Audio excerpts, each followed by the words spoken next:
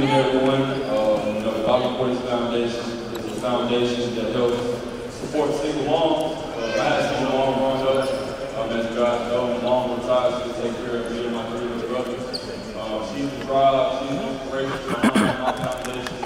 Um, she's my watching for everything. Trying hard, I need somebody to talk to. That's my best friend. That's what I need. Our foundation is, um, you know, built off of her.